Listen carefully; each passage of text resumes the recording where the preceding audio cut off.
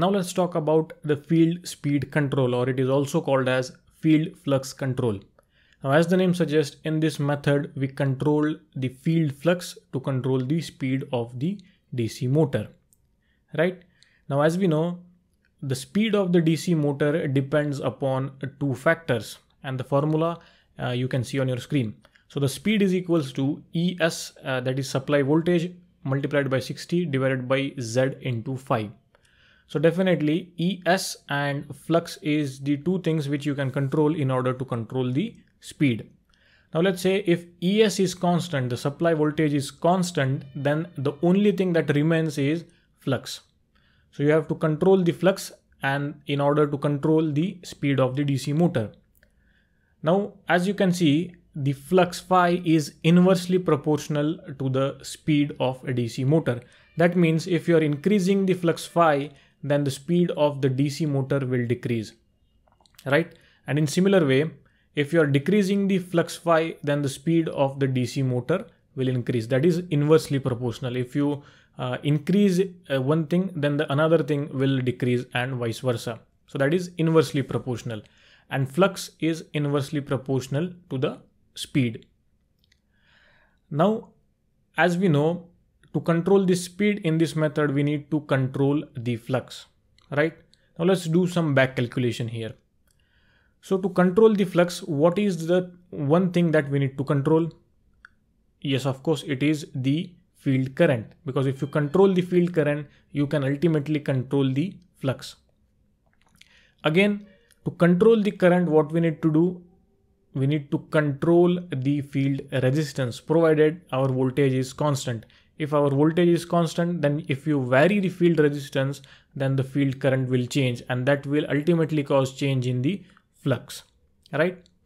So if you see here to control the flux, we actually need to control the field resistance. Once the field resistance is under control, the flux will come under control and hence the speed of the DC motor, right? Understood? To control the flux, we need to control the field resistance.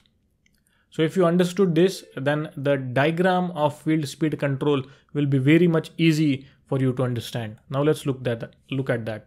So what you can see on your screen is the systematic diagram for field speed control. Now here you can see we have connected a, a, variable rheostat in series with the shunt field. Now of course we cannot control the resistance of this shunt field. That's why we added a, a rheostat in series with the shunt field. The same thing we did in case of armature resistance control method right? This is the same thing. The only difference is uh, in the armature control we connected a series rheostat in series with the armature. But here we have connected that in series with the shunt field so if you control the resistance of this thing the variable rheostat the flux will change. And that will cause change in the speed of dc motor. So that's how it is done. Now to show you how exactly things work let's go to the whiteboard. Now let's say the supply voltage ES what we have is let's say 100 volts and motor is running at a constant speed or at, let's say at, a, at its rated speed. And the back EMF at this position uh, at that speed is let's say 95 volts.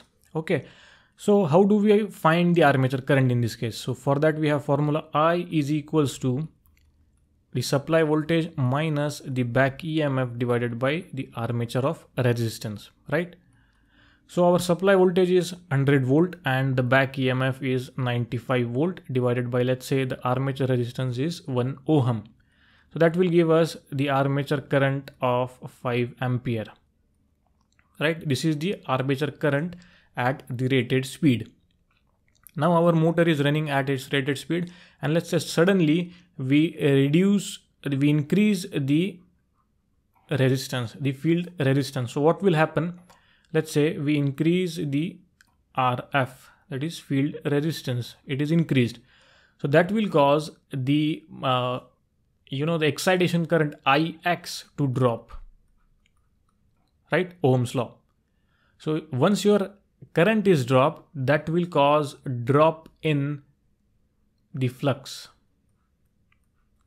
the flux will also drop because flux are directly proportional to the current If current is decreasing, the flux will also decrease. Now, since the flux in the machine is less, the back EMF generated will also be very less, right?